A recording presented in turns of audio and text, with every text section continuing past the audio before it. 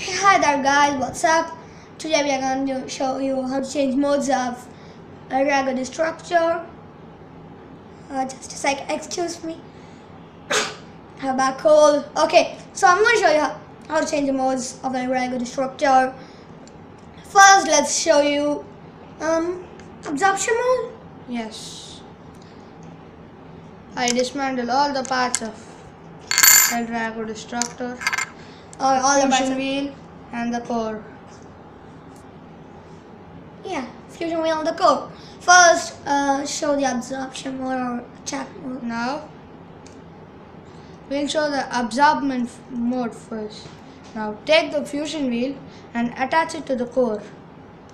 As you can see here, the red color part has come out. The red color, this portion. This portion. It's facing out. So this proves that your uh, Eldrago Destructor is in the absorbment mode. See here?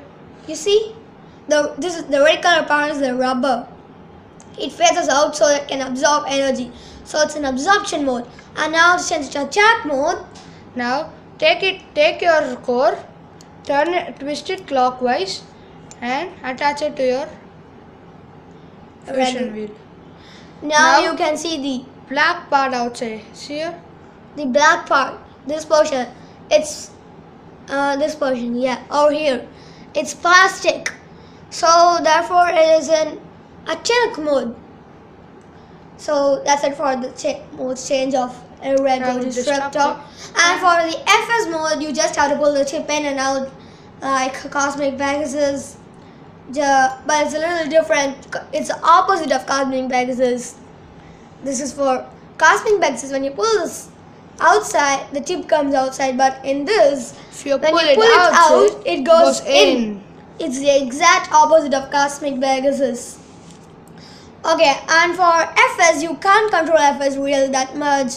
You just have to bring this tip uh, so that the tip is out and you can let it rip. It will change the FS mode automatically. So that's it for the mode change of Rag Destructor.